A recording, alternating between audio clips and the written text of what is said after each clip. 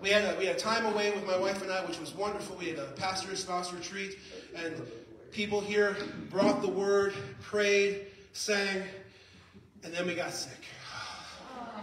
Uh, and so we were out one more week, and I'm just humbled that so many people stepped up in many ways to help out. Um, come here on Sunday and, and have God show up. It's just a wonderful time to be here together as a church family. And it's the, fam, uh, it's the, family of God doing the things of God in the house of God. And that's just a wonderful thing. So, uh, as we start off our service today, I'm going to be reading from Psalms. I have Psalms 96. Psalm 96 says this Sing to the Lord a new song. Sing to the Lord, all the earth. Sing to the Lord, praise his name, proclaim his salvation day after day. Declare his glory among the nations, his marvelous deeds among all peoples. For great is the Lord and most worthy of praise. He is to be feared above all gods, for all gods to all nations are idols, but the Lord made the heavens.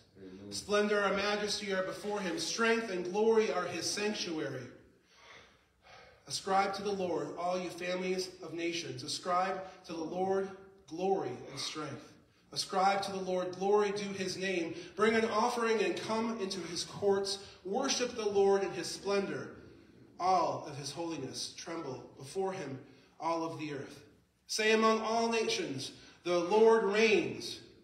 The world is firmly established and cannot be moved. He will judge the peoples with equity. Let the heavens rejoice, let the earth be glad, the seas resound, all that is in it. Let the fields be jubilant and everything in them. Let all trees of the forest sing for joy, and all creation rejoice before the Lord, for he comes to judge the earth. He will judge the world in righteousness and his peoples in his faithfulness. That's what we're here to do today. We're here to rejoice in God, to sing, to be jubilant, to, to understand God's impact and work in your lives and how He's brought you here, and He continues to bring you forward in our Christian journey as disciples. Does anyone else have anything else to share, a, a scripture or something that's spoken to them this week that they wanted to give, uh, give glory to God? All right. So as we go forward here with our announcements, the women's breakfast, sorry, next week um, here after the service is our board meeting. So make sure board members are uh, coming here next week, and then we're going to do our um, monthly meeting for that. The women's breakfast has changed. It's not this Saturday like normal, the second Saturday, but it's going to be 316 because someone's getting some work done there. Uh, we're praying for her later on uh, for her surgery, Karen. And so Secret Sister is going to be revealed that day. So um, March 16th, 9 a.m., Secret Sister at Good Gollies. The Family Resource Center Gala, those who want to come, there's a sign up out there. I think this is the last day I can reserve seats for that. So if you're interested at all in the Family Resource Center Gala, make sure you put that your name down there so I can reserve the number of seats for that. Um, and then we get into Easter. You see these guys out there? These are our Easter events coming up. And so take them, take a stack of them. We can make more, we can make plenty. We have our Palm Sunday uh, giveaway for the palm branches. We have the Good Supper, which is on 329. It's going to be on uh, Good Friday. And then we have Easter Sunday service, both sunrise and normal service times for that day. So Give these out. Invite people. Be praying actively for people who you know need to know God. Easter is a wonderful, great time to say, hey, my church is having some events. My church is having some stuff going on. Come here. I'll bring you. I'll help you. I'll, I'll get you there. Whatever needs to happen. And have them plug into our church here and our things going on. In addition, it's not in your bulletin. April 13th, these are out there. The Broken Teacup Women's Day. Um, it's, a, it's a basically a ladies' um, devotional day or ladies kind of retreat kind of day. Uh, Karen is helping lead that as well, and we're going to be having that here in April. It's going to come before you know it because Easter is going to come, whiz on by, and then a couple weeks later, we're going to be Women's Day. So reserve your time, save it in your schedule, share these as well to people out there for those things coming on for that Broken Teacup uh, Ladies Devotional Day. So. Other announcements or things that I'm forgetting? What's that? Oh yeah. So next week, uh, what, what is what is this thing up here? Let me see. No, I'm not going to the basement. Okay. Hi, everyone. Oh, fishing. No, it's not for fishing, Steve. I know you want to, though. He said the walleye is going to be biting this week, but no, no. Down here we have our baptistry. So anyone who has accepted the Lord Jesus Christ as their Lord and Savior and has never been baptized, talk with me. We can have you baptized. But my plan is to have a baptism next week. We had a couple people come forward who were willing and uh, saying that they had never been baptized. And so we're going to get this thing full of water. Whew. And uh, yeah, it's, it's, like I'm in the basement. I don't know. And it'll be hopefully it'll be warm. Yeah.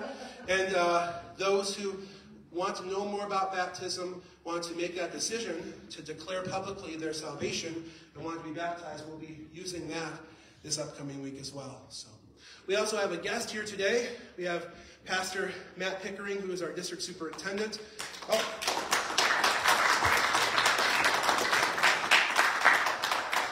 He is my boss, so you got to tell him all the bad things about me, I'm sure. So, uh, no, he's, he's over 80 churches here in the Penn York district of the Wesleyan Church.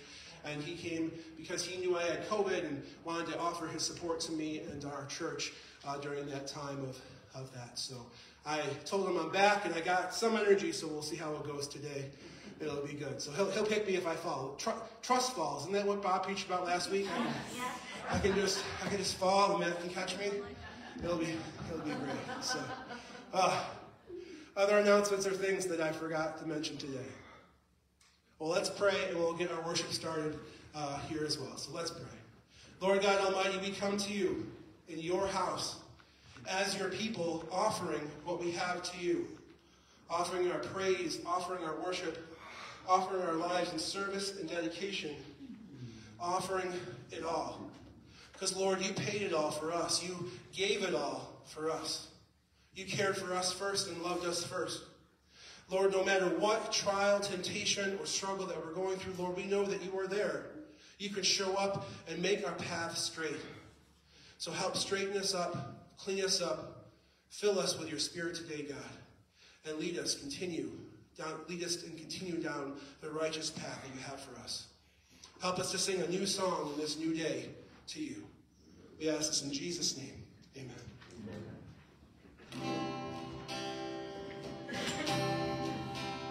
Please stand and join us in worship. Praise the hallelujah.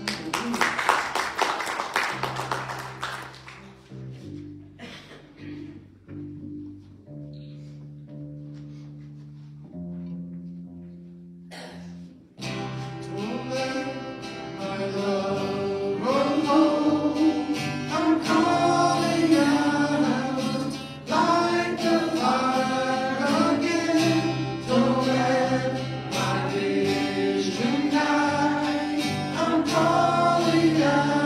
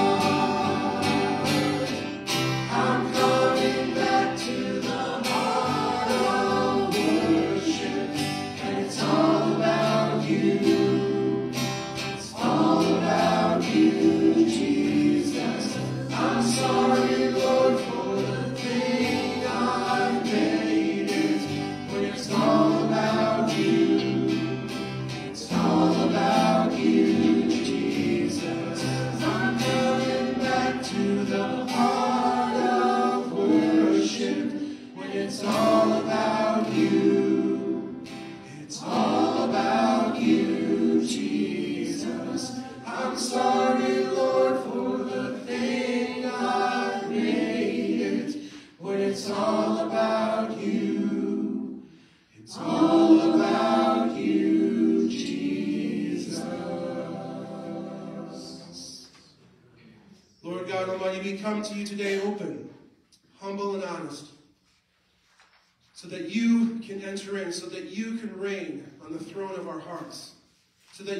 control because, Lord, we know when you are in control, good things can happen. When we're in your will, good things are going to be coming for us. And so, Lord, we ask that we die to self and that we continue to surrender to you. Help us to take a step forward in our faith today, whatever that is. Loving, serving, reading, giving it to God in prayer, letting the old aside and and, and, and walking away from it. It doesn't have to plague us anymore. You, you can be healed, redeemed, and that you would use it for our good, for our future, in the name of Jesus Christ. And so, Lord, we pray today that you help us wherever we're at. Thank you for gathering us together today in this place. Lord, we know you have something special for us. We ask you to help those who can't be here today, who are hurting, who are sick, or in the hospital. A special touch of love in your presence in their lives is what we pray, God. Let them know that you are there in the midst of all of these things culminating around them.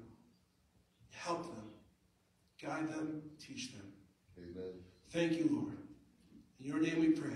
Amen. Amen. Amen. You can be seated. Welcome again this morning to Mallory Wesleyan Church. Uh, we got a couple ushers maybe to help us out with this morning's offering. All right.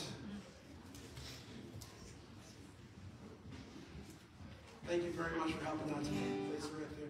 One thing I'm going to say about offering time, and, and I'm going to be updating this a little bit here soon.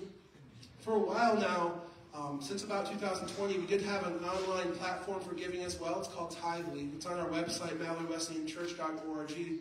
And so if you uh, feel led to give um, in a different way, besides just passing the plate, we feel uh, led to give. Maybe you're tuning in on our live stream or tuning in some other time uh, to one of our, our uh, services, or if you feel led to give to support our church, it is part of being a disciple to, to give and to tithe. And so uh, we want to make sure that's offered, offered and available to whoever wants to give whenever they want to. And so um, feel free to use that on our site. It's right at the bottom of our homepage. Um, this little button says give.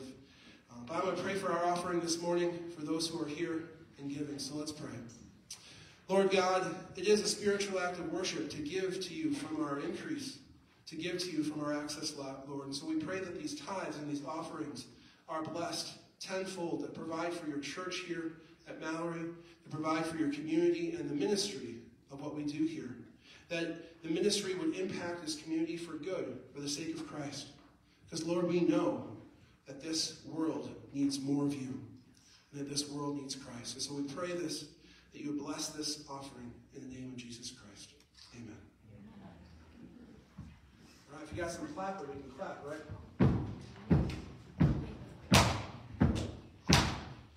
Father, let your kingdom come. Father, let your will be done on earth as in heaven,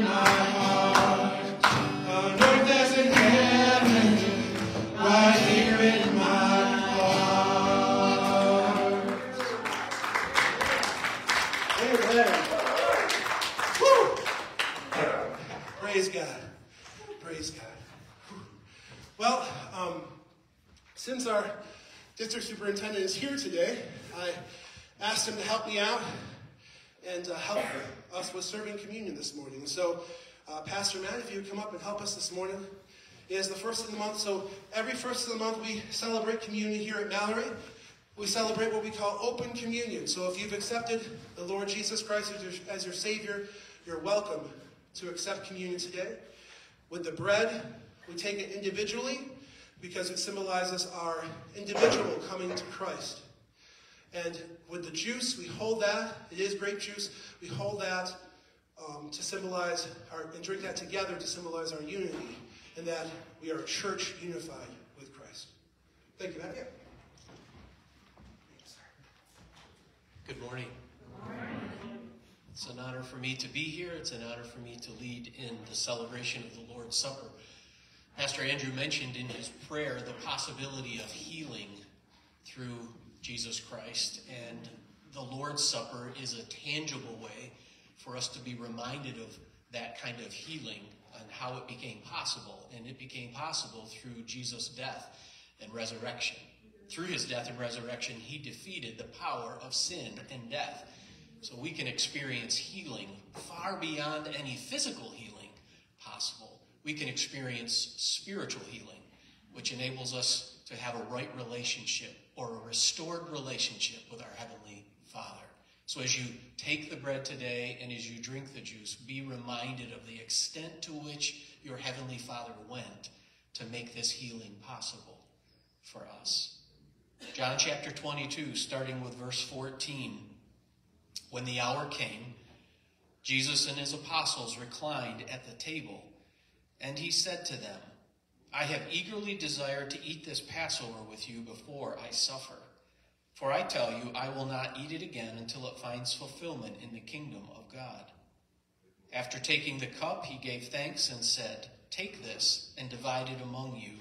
For I tell you, I will not drink again of the fruit of the vine until the kingdom of God comes. And he took bread, gave thanks, and broke it, and gave it to them, saying, This is my body given for you. Do this in remembrance of me.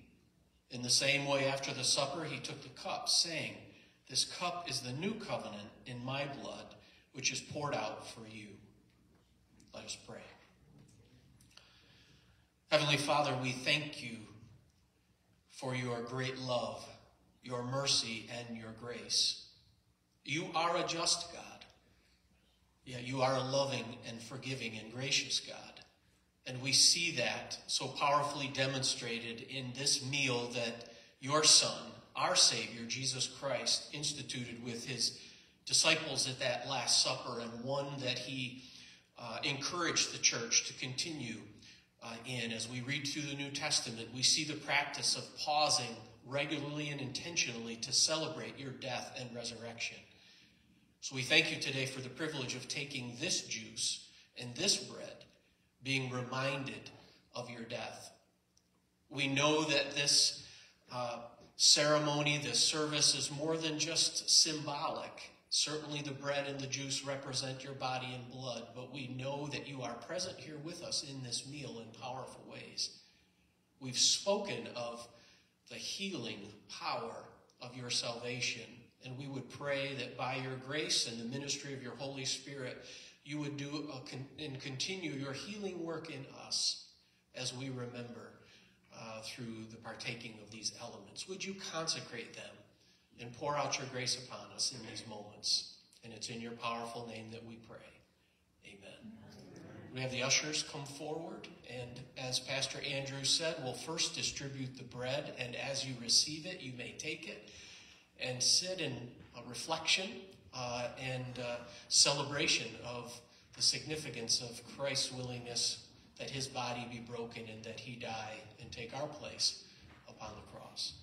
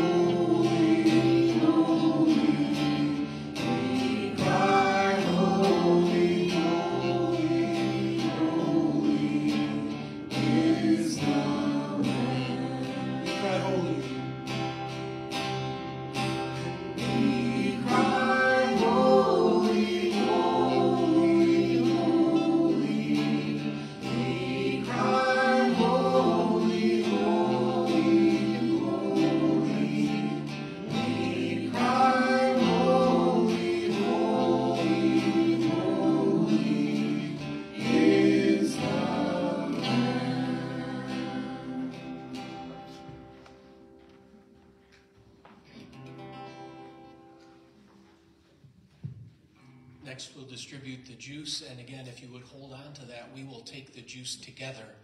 Uh, demonstrating our unity in the body of Christ and celebrating the fact of Christ's shed blood and its ability to forgive our sin.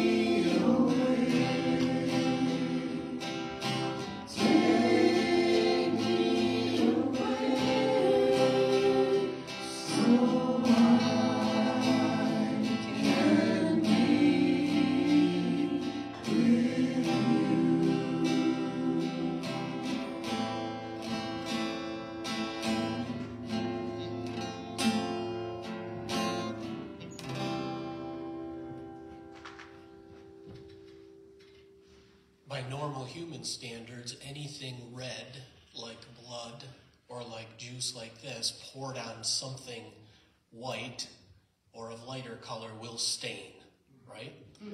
But according to God's economy, red washes white. Amen. God was talking to the people of God the, through the prophet Isaiah when he said, Come now, let us reason together. Though your sin be red as crimson, it could be washed white as snow.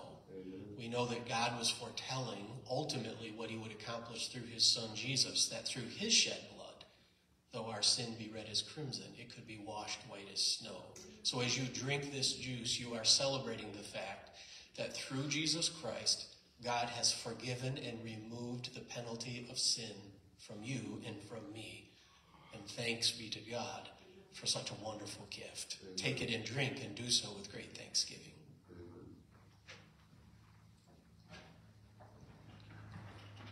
Dear Heavenly Father, we thank you again for the privilege of this very tangible reminder of your great love.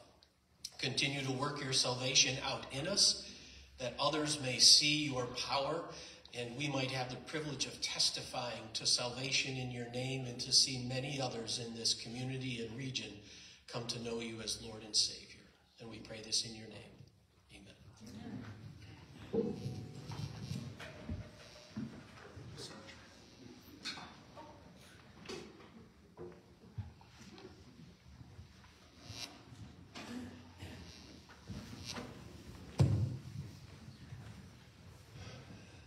special time of communion. We're going to dismiss our children down for our children's program today. So if you're a parent or grandparent, make sure you have um, your pager. And children are welcome to head down ages 3 to 11.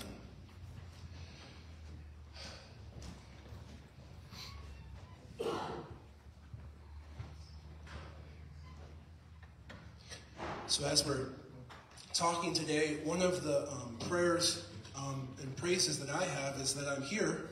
Um, as I said last, uh, said at the beginning of the service, I was sick this last week. My, my wife, my son, and I, we all uh, handle uh, that kind of sickness a little differently.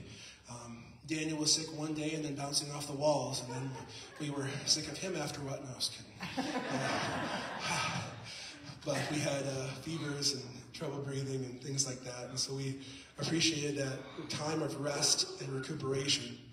Um, and it was, uh, I, I, know some people called and some, I know many people were praying. Uh, and so I thank you for that.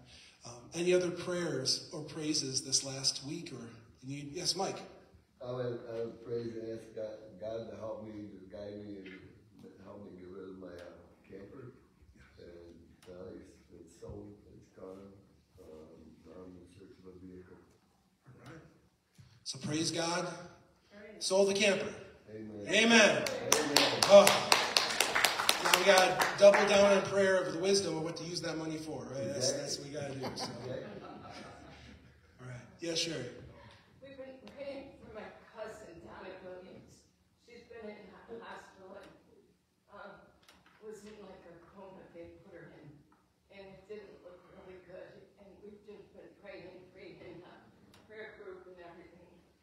And she's out of the hospital, learning to walk again, but she's doing really good. Amen. Praise God. So, and so we'll continue to pray for Donna in her recovery and her learning to walk and getting out of the, you know, getting out of that desperate time when she was in a coma. And we'll give her, give God all the praise for that. All their prayers, praises. Carly? Um, this past week, for some reason, my blood pressure decided to go up forty points. And my doctor. So, I pray that the medication that he quadrupled will work.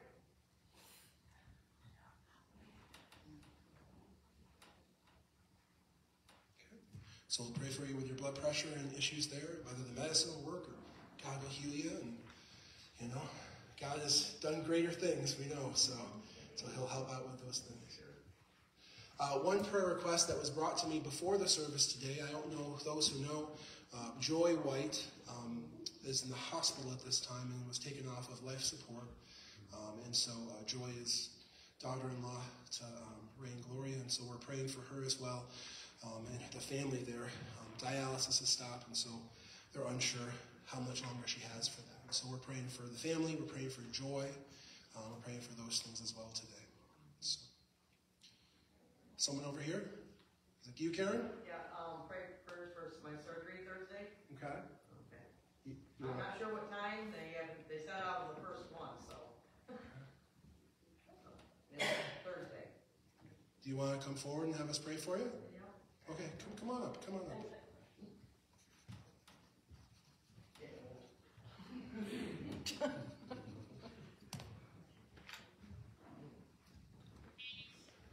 face that way. So that's the oh, I do? That's the scary part. Yeah, that's the scary part. All those want to lay your hands on Karen for her surgery coming up. Feel free to come up.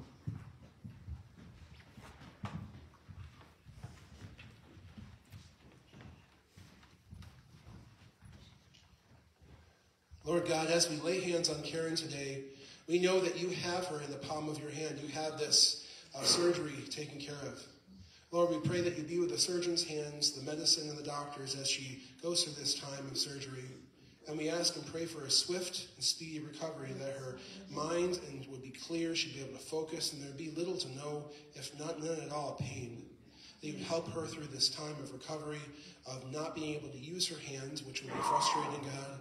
And we just ask you to help her turn this into praise, turn this into your glory, into your um, your time for her, whether this is a needed rest for her of time uh, to step aside, to reorient, to re um, understand herself and things, um, whether you're giving her time for other things. God, I just pray whatever this uh, plan for her that you have for her, that you reveal these things in, this, in these moments in this next month as she's continuing to recover from the surgery. Bless her and help her, Lord. In Jesus' name, amen.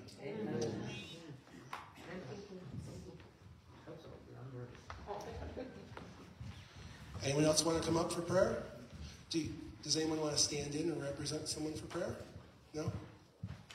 Pastor, Yes, Mike. I just wanted to say, um, I had a CAT scan done of my stomach and everything. They, they said it's infl- in- inflammation and everything, so that they get that taken care of with the sonogram coming up sometime soon. Okay. So we'll pray for your stomach then. Excellent. We'll pray for that and any of the tests and things like that going on. We'll pray that there's no cats in there either, so because it was a cat's scan. All right, Mike. Uh, I'd like to praise.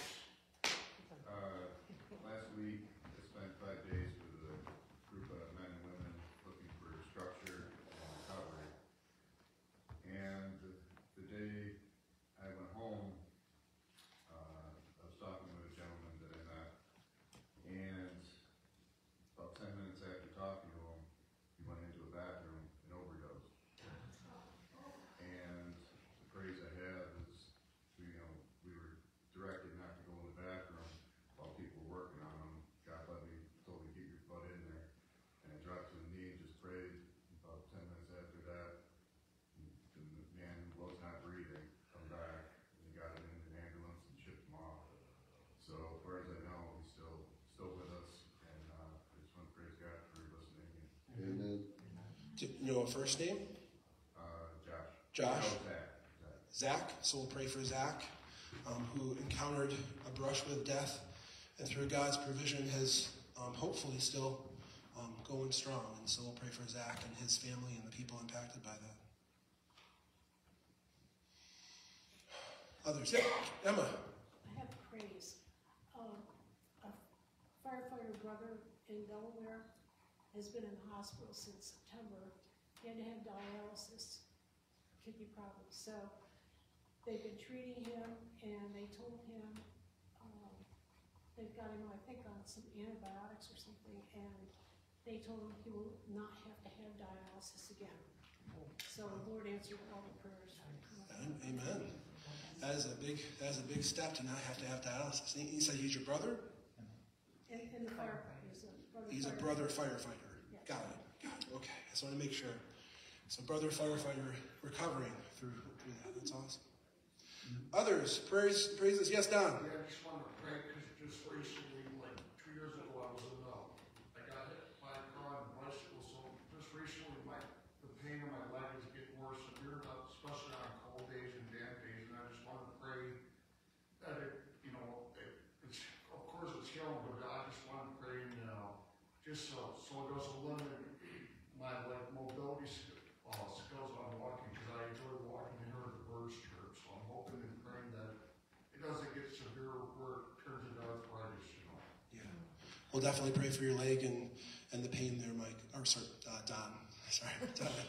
We'll definitely pray for the pain in the leg and uh, those things, especially with spring coming, you know, because there's going to be some damp days there. So we'll do that.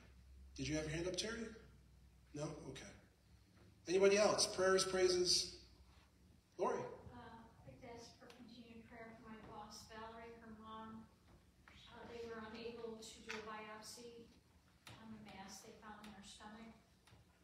Um, she was put into a rehabilitation place. Um, went to see her the next morning, she found that she'd been laying in her, her waist over her head. Her mom is blind, and she found her stiffened with her hands held to her chest. And Valerie removed her from there and took her back home and has been caring for her ever since. She is improving. They took her off all medicine except for a water pill, and she is now coherent, able to get up and walk, and doing better.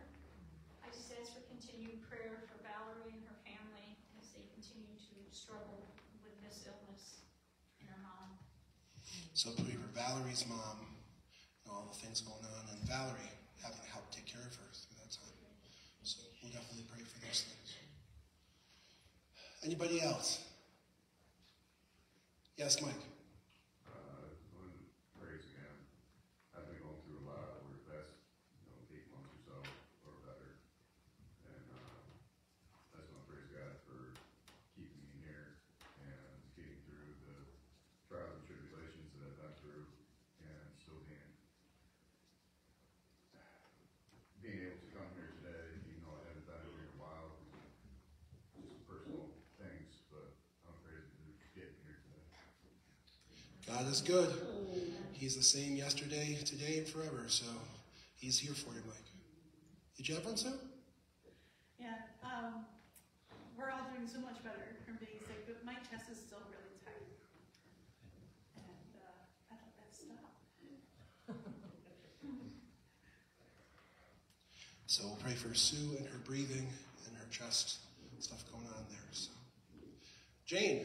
Um, my daughter's uh, brother-in-law passed away unexpectedly this week. He was the head of all the music department at Holy Cross Church in DeWitt. He was a music impresario. He was incredible. And uh, he was in, uh, uh, uh, he, he is a child at the Horace Heidt's show, which I had never even heard of. But he was, he was just very well, uh, first in music. And, uh, It's just, it was just another death that we know, that we were dealing with our family. And then, this isn't as important, it is, but it's not. I just pray, uh, my car's at the second mechanic, and I hope that this week he can find what's wrong with my car and fix it. Because those time can't be without a vehicle. Yeah, we'll definitely lift those things in prayer. He said, daughter, daughter's brother-in-law My away. daughter-in-law's, oh, my son-in-law's brother. Son-in-law's brother, His name was Ernie Camerata. Ernie. There we go. I'll pray for Ernie's family. And pray for your car, because you know you'll, you'll have to get some. Now Mel needs help. You'll have to get some boots or a nice bike if that car can't get fixed. I don't know. We'll figure it out, Gene. You'll be okay. God's got it. Other prayers and praises. Right, I'm going to take these before God. You're welcome at any time in the service, always to come up before the altar. But in this special time of prayer, I'm going to be praying at the altar. You're welcome to join me or bow your heads or hearts where you are.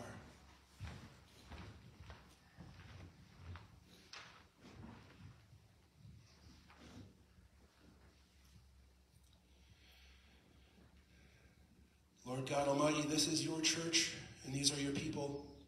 We come before you, opening ourselves and asking you to fill our spirits, rejuvenate us, and help us to rejoice in you. Lord, there are, prayer, there are prayers and praises of answered prayer um, from long time prayers that have happened, that you've healed people, you've healed the sick, you've healed dialysis, you've healed so many things, God. And so we know that you have these things in your hands. We know that you have, you have it. You got our backs. And Lord, so we come to you open today, asking you to help our lives. Um, Lord, those who are struggling in their in their life journey, whether it um, be due to pain, whether they've been away for, for a bit of a time, Lord, that you brought them back to this place for a reason, for a special connection that you have to learn, to grow, and to develop as a disciple of Christ. Lord, we do lift up uh, the White family. We lift up Joy White specifically and Jeremy, her husband, as Joy is um, uh, off of dialysis now, which is not a great thing. And uh, she is off of life support, which is not a great thing. And, and it's possible days left for her. Um, And so, Lord, we pray your intervention in this situation, that if it be your will, that you would heal her in the name of Jesus Christ, that you would be with all the family members, um, Jeremy, Mary, um, Gloria, Ray, all the people surrounding her and her children, and all the people, Lord, and you build them up, help them through this time. And Lord, if it's your will that she would be with you in eternity, Lord, we pray for those who are left behind, that, um, that you would comfort and care and help them and carry them through this moment. Lord, we pray for um, all those who aren't here due to sickness, due to COVID or flu. I thank you for healing my wife and my son and my, myself here this last week, and that we're here to celebrate you and be with you. But Lord, we know that others can be sick out there as well, so we pray that you help them. Uh, we pray for Mike uh, with his stomach issues and that he had a CAT scan going on, and we pray that the doctors would have answers for these inflammations that are going on in his stomach.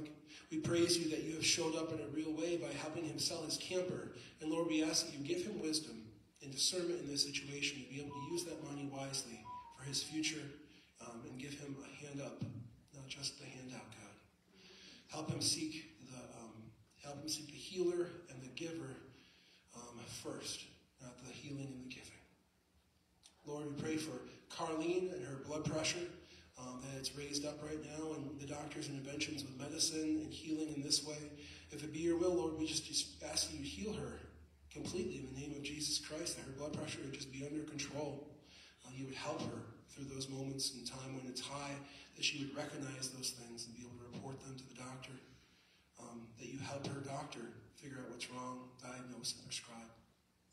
We pray for Karen specifically this week as she come up, came forward, Lord, but as she's having surgery with her hands and the, the difficulty that she's going to have in that recovery, that long recovery, God, that you keep her, keep her busy, keep her mind occupied, keep her um, able to do things and still uh, jump for joy for you, and that there be no or little pain throughout this recovery period, but you'd also help her to be able to um, do things for your kingdom and for her household. We pray for Zach as Mike shared the story of Zach overdosing here this last week, um, and that he was miraculously brought back to life by the um, interventions of you, God, and by the EMTs, God. We pray for his recovery wherever he is at, whether he's in a hospital or whatever's going on with him, that he would know that life is precious and life is good, and that this second chance that he has um, is something for him to turn that life around and maybe turn towards you, God. Help him see that, give him a revelation, help him understand the preciousness of these things. God, we pray for our brother firefighter um, who is now off of dialysis. He's down in, in Delaware, that you've recovered him and healed him. So we thank you for that, and we ask you to help him still in his ongoing recovery, whatever is going on, that you would heal it in the name of Jesus Christ. We pray for our uh, friend here, Don, who's uh, had had a car accident in the past, and so he has ongoing pain in his leg and different different limbs there. During the spring spring season, it's going to be rainy, God, and so we pray that that pain would be eased, um, even during the rainstorms, God, even during the change of temperature, humidity, God, that you would help him manage that well, and that he would be able to see God working in the midst of this healing, God, that you would do this in the name of Jesus Christ. We pray for um, Lori's boss's mother, who, she, who Valerie, who's, caring for her mother at this time, um, that uh, she was in these deplorable conditions, deplorable health, God. We thank you that Valerie is intervening. We ask that you give Valerie the strength to help her um, be steadfast and be strong through this time. That step by step you lead her mother into recovery and that you could heal um, this, this person. You could heal her in the name of Jesus Christ and help her not fall into those um, desperate, deplorable times again. Uh, we pray for uh, Micah Carroll as he's uh, been going through a lot these last few months, that you brought him back here and that you continue to help him learn what God has for him in his life. Give him a special purpose and help him see that through this time, God. Thank you for bringing him back. Lord, we pray for Sue and her breathing. Um, she's recently recovering from the sickness there, and uh, that she would be able to breathe well and better again, that she would get full use of the capacity of her lungs, and you heal her in the name of Jesus Christ. Then we pray for Ernie uh, who recently passed away in his family. Uh, we just pray for his family. Um, it's another death in, the, in that circle of family recently of so many uh, going on, God, that we pray that they would see you in the midst of these things, that they would consider eternity as an option and um, want to uh, build a relationship with you through through this um, through this situation. Ease their pain, ease their uh, comfort them through these times, and help them draw close to you, God. And Lord, we do pray for Jane's car and uh, other cars out there that might be having difficulties as well. Uh, it's, it's, important for us to be able to get to the places we need to get to in our rural area, God. So I pray for Jane and that the mechanic would find the answer for her car and any other people out there struggling with their cars, that you would help them in this time. We ask you all of these things in Jesus' holy name. Amen.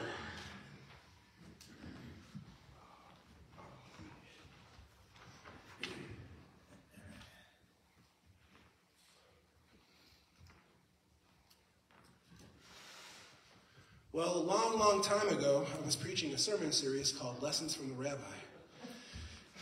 It's been a few weeks. And I illustrated how Jesus himself was a master and teacher. How he took disciples underneath him and was teaching them in different ways that had never been explored before. As we talked about, this is a, a Jewish prayer shawl. Yeah, it feels right. It's good. No, it's not a new fashion trend. It's okay. You don't all have to get Jewish prayer. And we're not turning Jewish here, but just to think about Jesus as teacher and master, having been trained and was fully Jewish and, and, and learning how to implement these lessons to this new wave of Christianity is amazing to me. Because he broke the paradigm, he broke the, the normal way of teaching. And he still does that today in his church now. I'm going to ask this question. It's going to be a hard question. I'm sorry. Have you ever been stretched spiritually? Oh, I don't want to be stretched.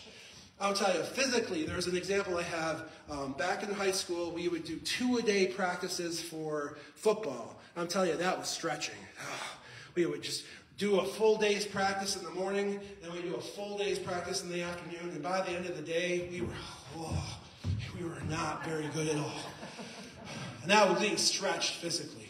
It was training. It was training our bodies for the task ahead, for football, for the plays and the things that we needed to do. And what Jesus does with his disciples, both back in the Bible times and now, is he stretches us. He trains us. He equips us to be able to do his works, to be his hand and feet to, in, in this region, in, in, in this time for his people.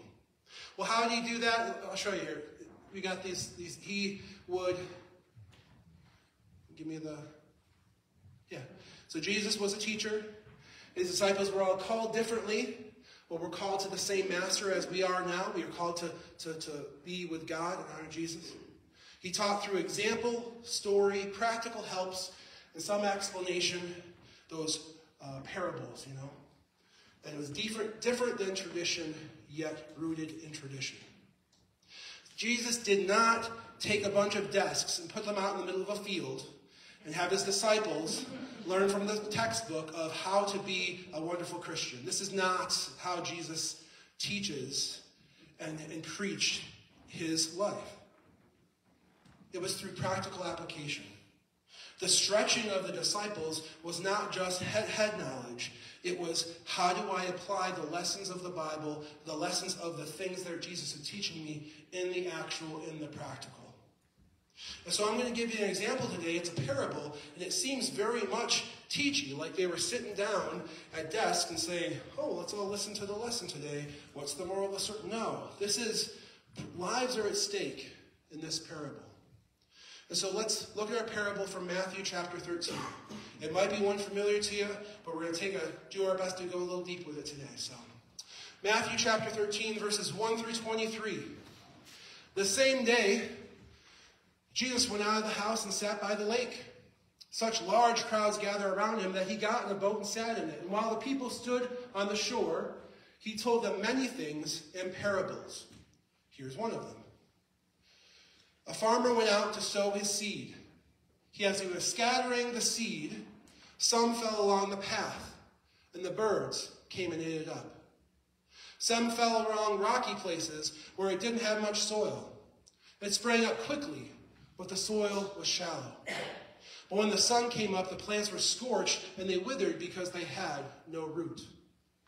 Other seeds fell among the thorns, which grew up and choked the plants.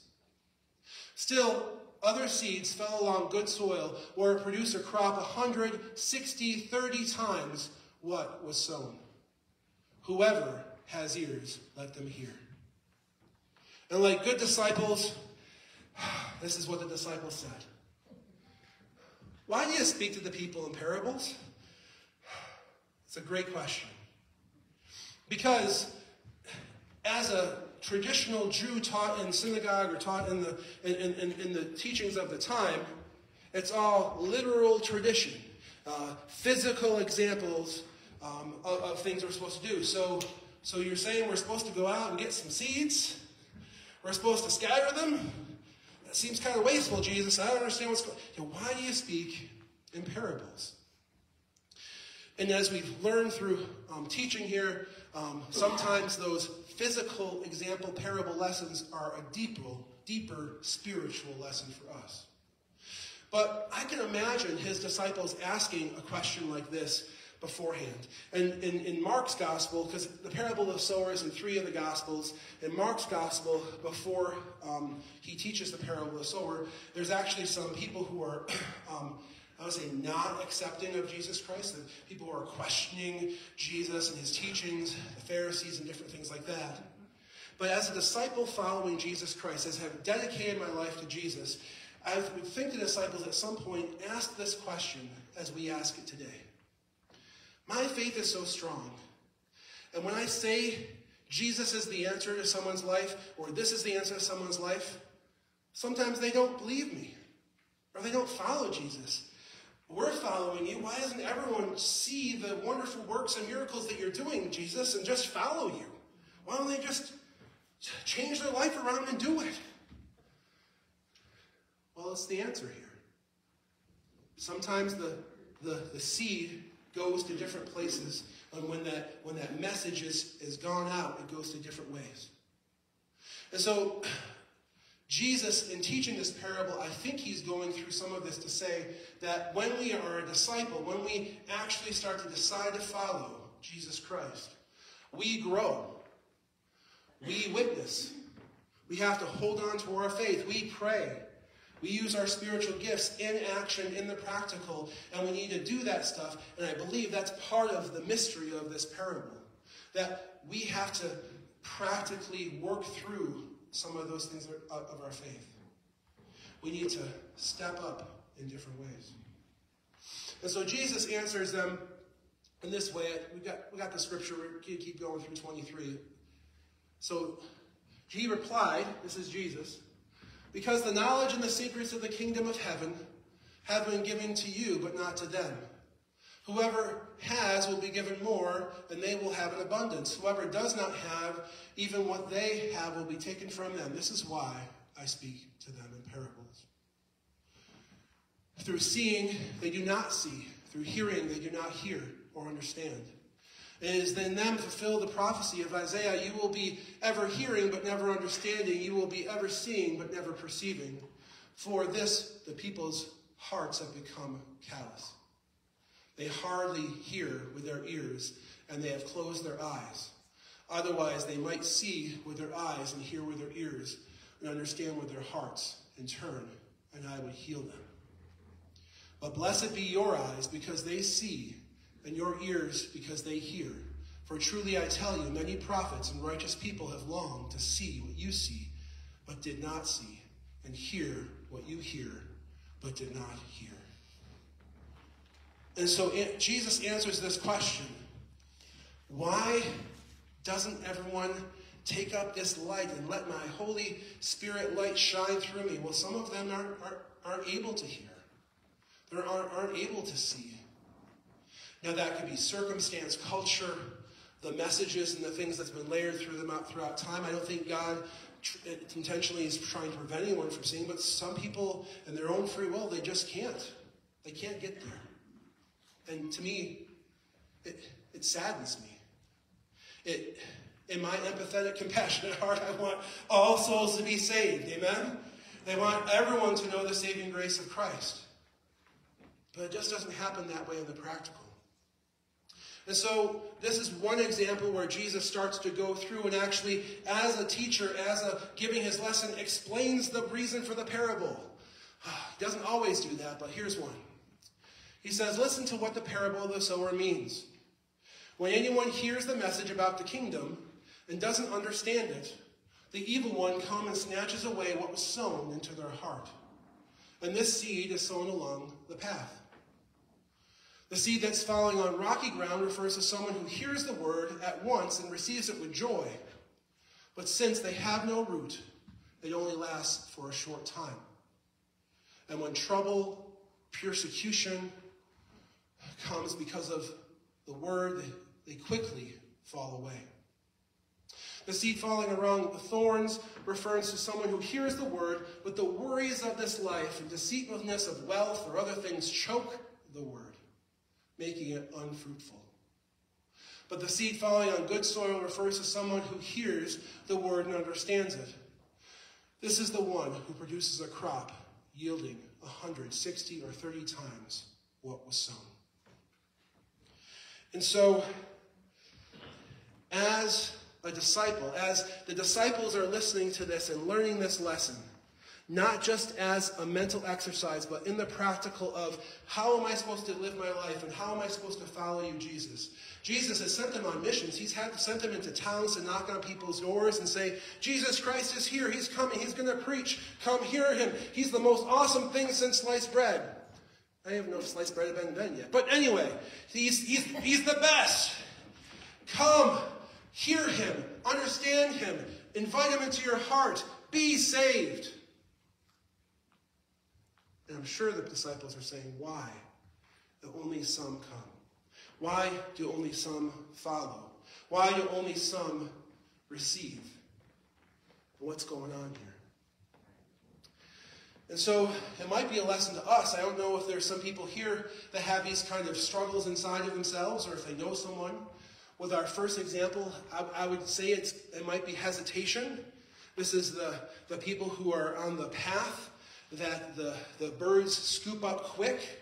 You know, uh, so so we gotta quickly find our find our way to plant ourselves and get there, uh, and get our get our roots going. Or or it might be they just kind of they, they, they, it's not not the right timing. I don't know. It's some, something where quickly they're taken away.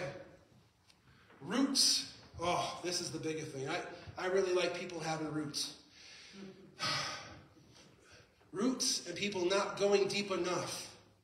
A, a surface level Christian who believes that just doing some of the basics will get them there and not developing an actual personal relationship with Jesus who, who will get you through it all who that I rely on his strength first, that I trust in him and have sacrificed or have followed in some deeply rooted way in the, in the theology and the message that I know is truth. So I, I step through and I follow with him.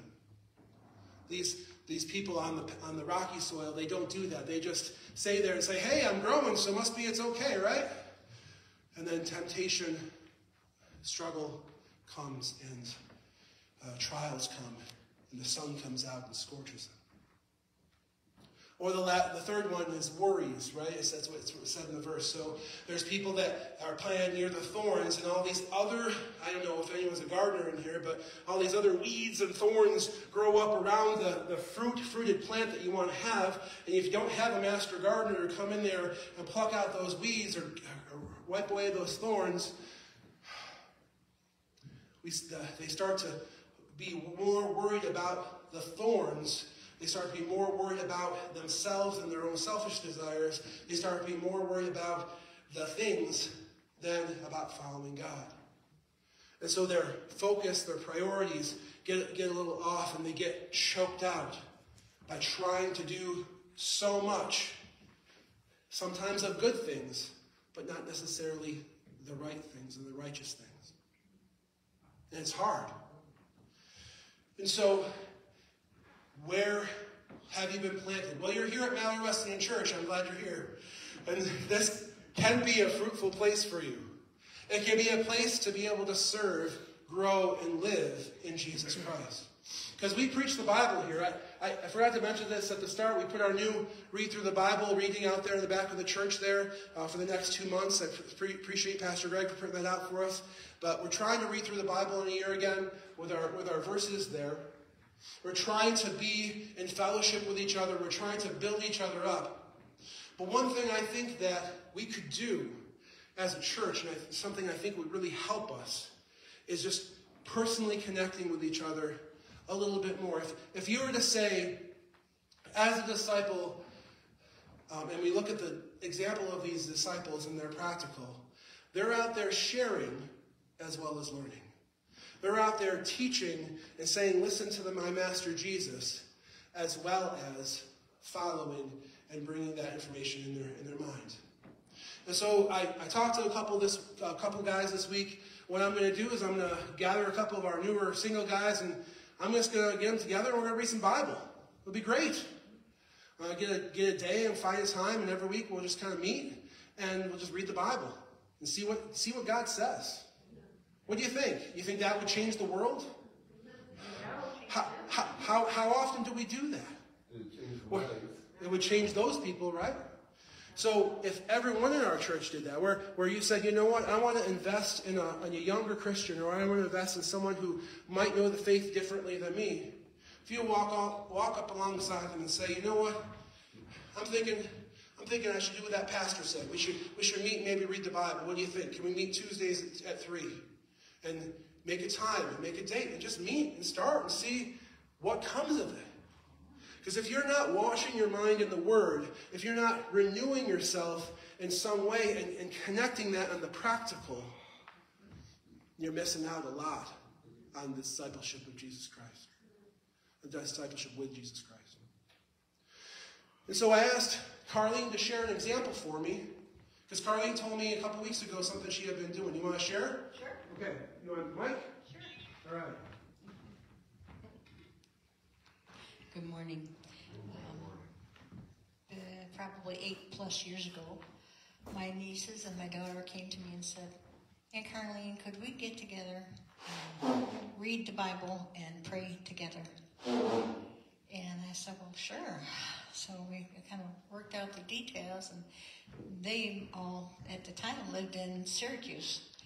And they have jobs and they have families and obligations. And I said, well, I, I checked with the pastor at Lyncourt Wesley and I said, you know, could we come in to your church house and just have a time to just pray and and read the word? And he said, of course, we'll leave the door open a certain time, a certain day, and just remember to lock it when you come out.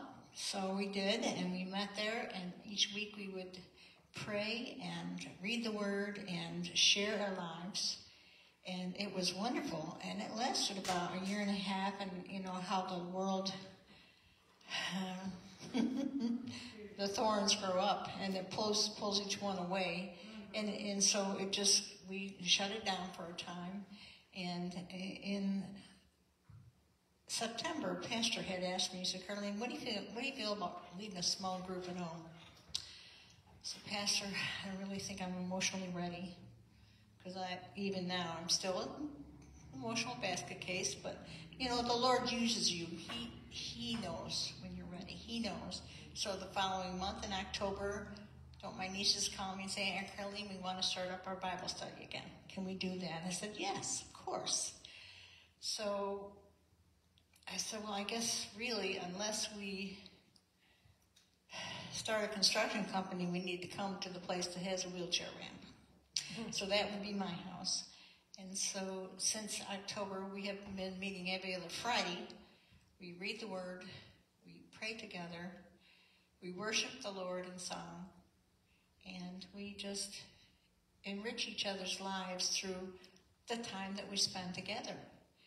And um, I'm blessed to have uh, my niece Betty Lou, who's already ordained, my niece Heather, who is an exceptional Bible scholar, to teach me.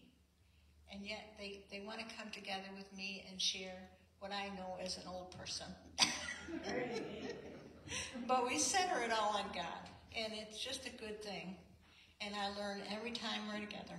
Every mm-hmm. time we're together, I learn. So if you can do it, I will do it. When God says do it, go, go, go. Amen. Amen. Amen. And that's that's part of being a disciple. It's part of being the church. At, at, formally in our church, you know, of course, we have our, our Tuesday evening uh, Bible study. Um, they're just finishing up Hebrews at this point. We finished. Finished. Oh. We're going to start Luke. Gospel of Luke Gospel of Luke just starting. Just starting. So this week. yeah, so so hook up with Greg on, on Tuesday nights for the Gospel of Luke at 6:30. We have our women's uh, prayer and share on uh, Wednesday mornings as well. A bunch of ladies from various churches coming together to pray and to, to wash their minds in the Word. We're going to be having our uh, people in the Bible study coming up here um, in, a, in probably a few weeks, probably around Easter, and then I'm going to be leading a small group as well. But it doesn't have to be formalized. Like if you could just, as a, as a more mature Christian or as someone who knows a little bit about something, you have that ability to share that with another individual. And so take that individual and say, hey, you know what? Let's meet for coffee once a week and just meet. Be prayer partners. Say, you know what? Be accountability partners. Just, just invest that time and that energy. You're going to. This is this is what I think when they say produce fruit, right? So so producing fruit. We, we got the next slide here. Oh yeah. So that, I was going to say this too. Ooh. So um, in our in our sharing of our of our seeds, of the sharing of the, the masters the master sower seeds, sometimes there are people, even with your best effort, even with your best trying, that won't be able to receive that. And this is a meme I saw out there a while ago, and so I, I thought I'd share that.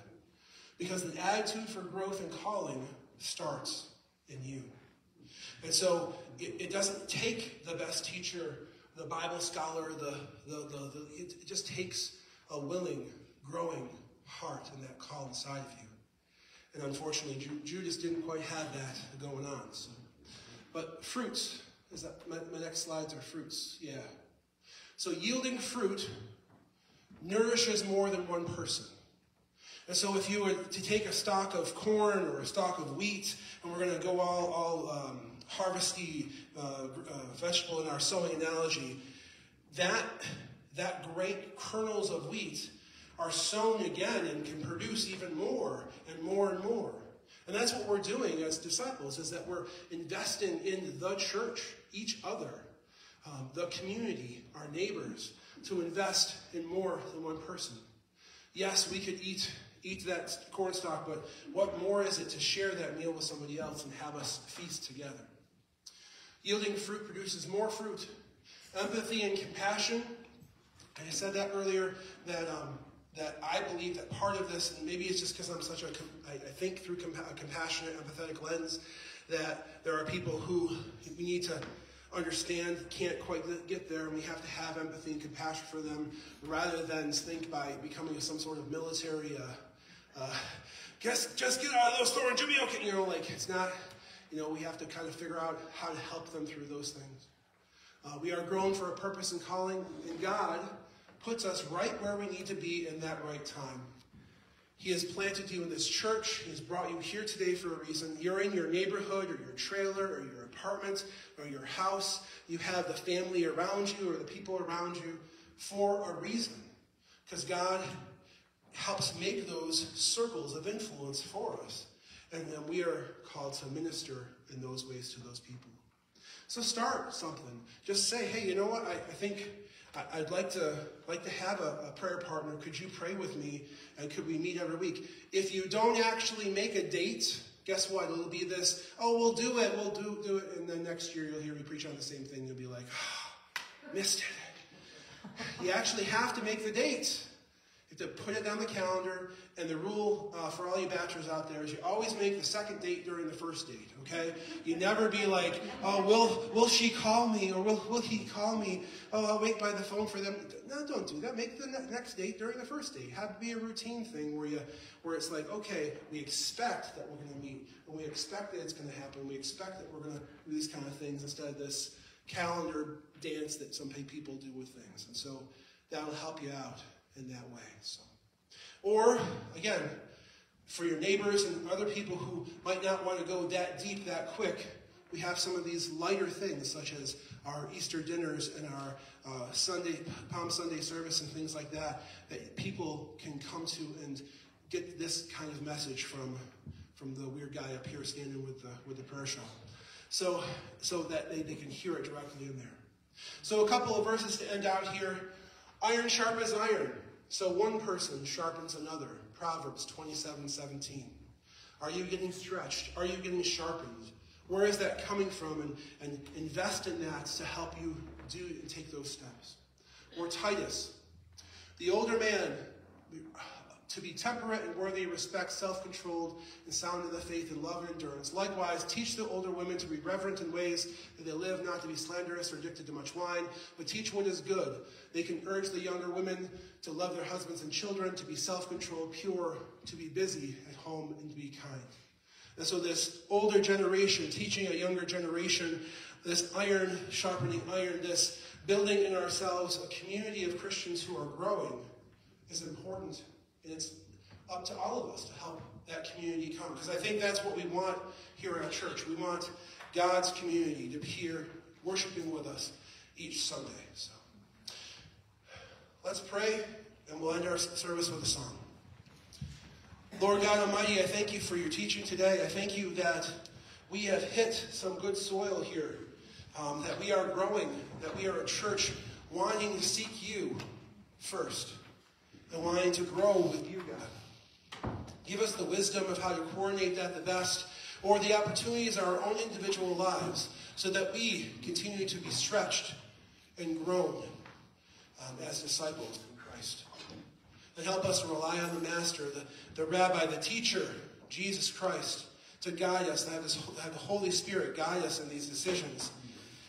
Lord, help us that don't have the time be able to have and set aside the time Help us who have nothing going on and feel like uh, you know there, there's there's uh, you know not the transportation or the or the ability to do the things. Help clear those ways so that there is transportation and the ability to connect with others. And Lord, I just ask you to bless this congregation today. In the name of Jesus Christ.